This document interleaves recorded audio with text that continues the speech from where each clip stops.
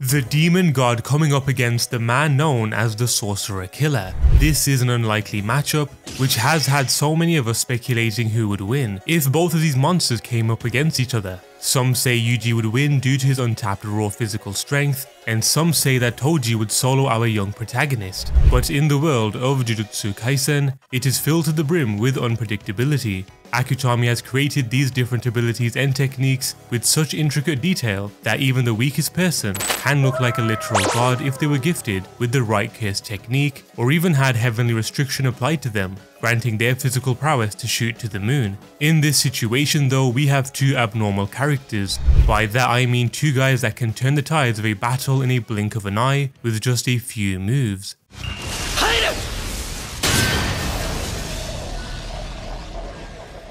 なんだその牙は常に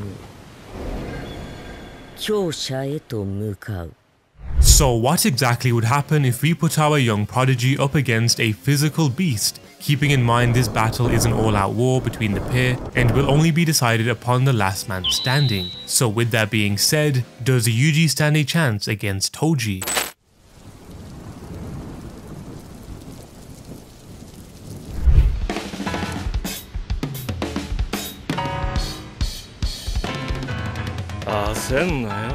Recently in the Jujutsu Kaisen anime, we were shown the full extent of what Toji can do even under the influence of Ogami, but on the other hand we had witnessed Yuji surpassing his limits in his battle against Mahito, going above and beyond, stalking Mahito as though he were his prey. However in this video we'll be putting Yuji from the latest chapter against Toji's strongest form. Without a doubt this is going to be one hell of a fight, a battle of just raw physical strength. But before we do that, let's come up with a scenario for how things could go down between these two, just to give us a better visualization of this blood battle. So where exactly will this fight take place? For this battle, let's have a change of scenery. We are so used to seeing fights taking place within the heart of Tokyo, surrounded by skyscrapers, but I've decided this battle will take place at Jujutsu High, or more specifically the Tombs of the Star Corridor.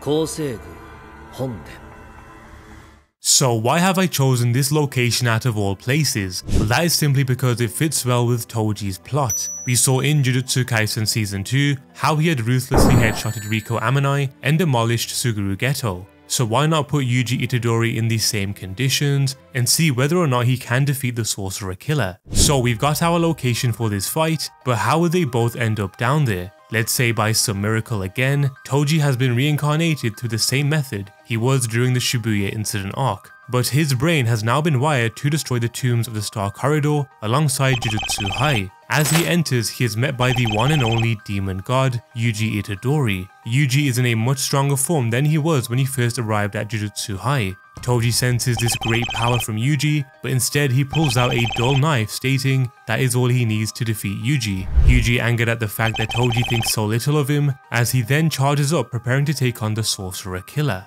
As exciting as that scenario seemed, we can't go any further without discussing the power scaling rules of this fight. I mentioned this in my previous versus battles, but these rules change between each battle, so let's run down the list of rules. Number 1, Toji will be able to use his Split Soul Katana, Inverted Spear of Heaven, Chain of a Thousand Miles, and Playful Cloud. Number 2, for this battle, I'll give Yuji the benefit of the doubt and grant him access to Maki's Slaughtered Demon, which he had used in the earlier chapters of the series. Number 3, both abilities and achievements will be compared to draw up an ultimate decision for how this could all end. Number 4, this is Yuji in his raw physical state without Sukuna being inside of him, so technically we'll be seeing Yuji from the latest chapter going up against Toji. Number 5, this battle is a hypothetical one, so don't take it too seriously. Everyone has their own opinions on how this fight could end up, so let me know what yours would be down in the comments section below. Those are the 5 specific rules for this matchup. Another one to keep in mind is that the winner goes to the person who is the last one standing, meaning it's to the death or to the one who's unconscious. It's not the first time Toji has come up against a teenager, but just like the previous time, maybe Toji loses again, who knows.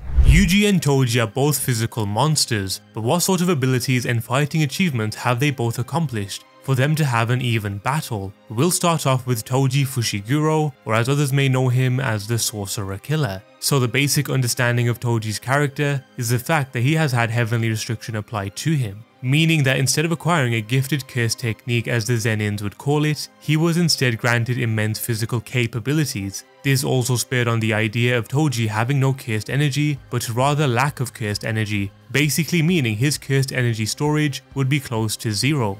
As for Toji's upbringing, he was treated worse than an animal at the Zenin household, being thrown into the disciplinary pit filled with curses so that he could be taught a lesson. That is where the scar on his lip originates from, but due to this torturous treatment, it would create a monster within Toji. His physical prowess would elevate to levels unknown, causing fear amongst the Zenin clan, while some admired him for his insane strength. But once Toji had left the Zenin clan, he would go on to become a contract killer, or in other terms, sorcerer killer. However, this part right here, Akutami kept hidden. We don't know what sort of battles he had undergone as the Sorcerer Killer and how powerful his opponents were, but it's safe to say that he must have faced off against first grade sorcerers on the regular, and he may even come up against special grade curses during his lifetime. But the first real fighting achievement which we had witnessed was when he had faced off against a teen Gojo and Geto in the year of 2006. At this time, Gojo and Geto were only a year older than current Yuji, but the pair were so powerful that they rightfully earned their spot as special grade sorcerers.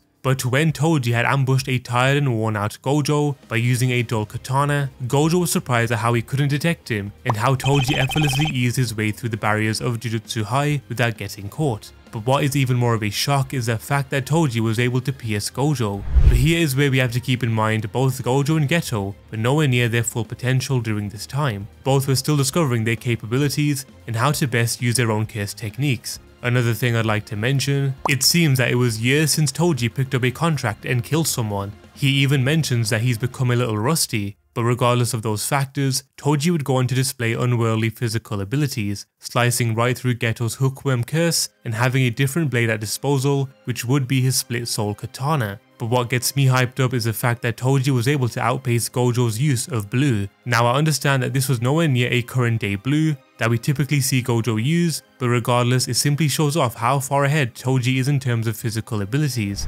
Anyways with this Toji uses his environment to his advantage, going at super speed and completely confusing Gojo. With a few distractions, Toji pulls off one of the biggest JJK heists ever, and that was to quote unquote kill Satoru Gojo. So what makes Toji so incredibly powerful even though he has no curse technique? Some might say that his heavenly restriction carries him, but it's Toji's battle intellect which makes him the most feared, as observed against Gojo, understanding his opponent and using that to his advantage. This will make his fight against Yuji even more special. To top things off, Toji would nonchalantly find his way to the tombs of the Star Corridor by only tracking footprints and smelling the odour of both Geto and Riko. Toji would face off against Geto's Rainbow Dragon, to which I would assume is a special grade curse, but we go on to witness Toji effortlessly slicing right through it. Now this is where things concerning Toji's power gets interesting.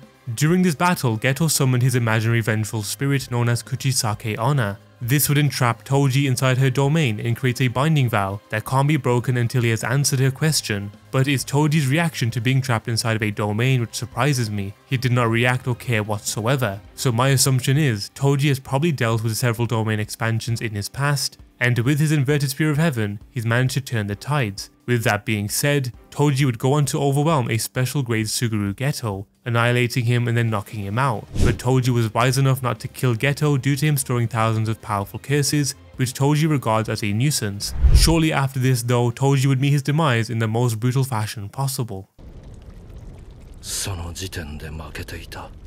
But that wouldn't be the end of Toji's chaos. We would see him resurrect from the dead through Ogami's seance technique. Toji's heavenly restriction was so powerful, it had overrode Ogami's curse technique, allowing Toji to return and just become this killing machine that only reacts instinctively. This would lead to Takuma Ino being on the brink of death due to Toji and also the death of Ogami. But things get real when Toji forces his way into Dagon's domain expansion, grabbing Maki's playful cloud with ease, and then with his intense power and speed, obliterates Dagon inside his own domain. After this, Toji would face off against his own son, with Megumi realizing that Toji is faster than a three-finger Sukuna. Which is one hell of an accomplishment. But throughout this, it would be a cat and mouse battle until Toji regains a little bit of consciousness and uses that to prevent himself from killing his son. But all in all, throughout all of Toji's recorded battles in the JJK series, he is undoubtedly the strongest heavenly restricted character. I know Maki is extremely overpowered, but we'll leave that discussion for a later date. The main thing I want us to take from Toji's battles would be that his insane physical powers coincide with his decision making and battle intellect. This in itself would help a lot when we break down the hypothetical battle between himself and Yuji. So now moving on to Yuji Itadori, which important battles has he gone through for us to come up with an exciting scenario for his fight against Toji? Well for this we'll be dissecting three of Yuji's most important battles where he himself had to prove that he is of high standard without the help of Sukuna. The first one being his battle alongside Aoi Todo against Mahito in the Shibuya incident arc. After the fatal wound inflicted on Nobara, Yuji's entire will to fight was shattered. That's only until Aoi Todo steps in and reignites the fire inside of him. Yuji would make a comeback by utilizing his Black Flash.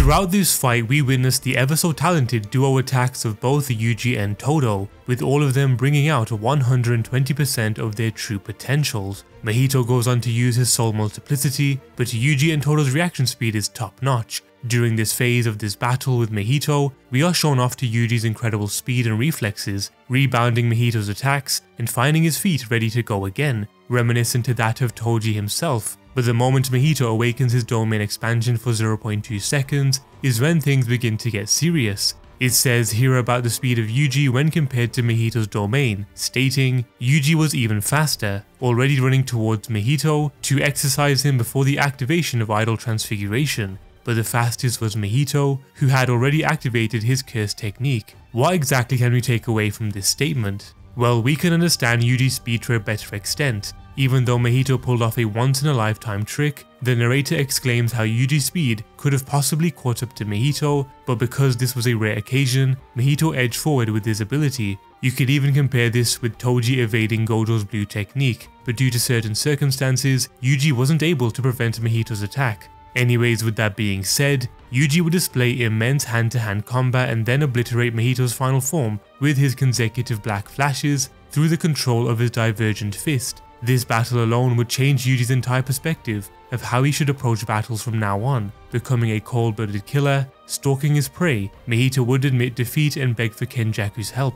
The next serious battle, which would display all of Yuji's physical capabilities, would come during the Culling Games arc, going head to head against Higuruma. Before this fight begins, Yuji knows full well that Higuruma acquires 100 points, meaning he has killed 20 sorcerers or so, but it's his intuition, battle intellect, and incredible physical capabilities which results in Yuji taking the win against such an overpowered technique. Essentially what Yuji gets trapped in is Higuruma's deadly sentencing, a curse technique slash domain expansion. The first round of this battle, Yuji is declared guilty by the Judgeman, thus leading to him losing his cursed energy and having to evade Higuruma's gavel. But it would be Yuji taking advantage of the situation to catch his breath again by declaring a retrial, but things would get even worse when Yuji is once again declared guilty for the deaths in Shibuya, but this time around having to undergo execution through Higuruma's executioner's sword. But even still, Yuji outmatches Higuruma in pace and power, also using the environment to distract his opponent. Higuruma understood that he would get completely wiped out in a physical contest against Yuji and decided to give up. This sequence reminds me of how Toji took advantage of his environment to face off against a teen Gojo. However, this battle would tell us how far Yuji has gone in a short span of time, finally using his brain in battle.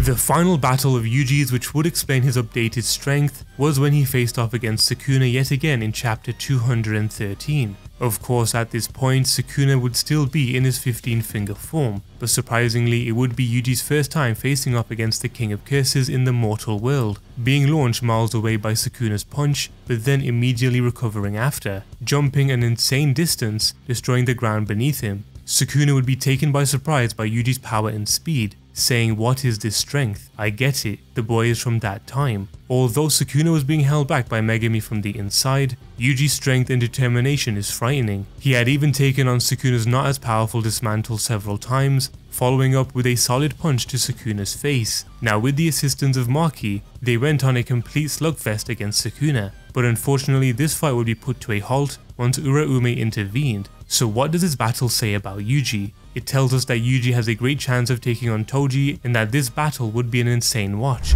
So with a better understanding of both of their fighting achievements, how will Yuji versus Toji turn out? So going back to the scene we had created, Toji comes across a young and determined Yuji Itadori in the depths of the Tombs of the Star Corridor. Toji is excited at the fact that he gets to face off against one of Gojo's talented students, whilst Yuji prepares to take his fighting stance. Now the question for this battle was, does Yuji stand a chance against Toji? And the answer to that is of course he can. In the latest chapters of Jujutsu Kaisen, concerning the Sorcerer Gauntlet match against a full form Sukuna, Yuji was taking hits head on against him and even recently displayed that he can now use reverse curse technique which is something we'll now add to this battle between Toji. With that being said, I do see Yuji pulling off the first move in this battle, and that is to get as close as he can to Toji. This is because Toji is someone who can pull off devastating blows from a distance with just his cursed tools, however the biggest obstacle for Yuji would be avoiding Toji's split soul katana.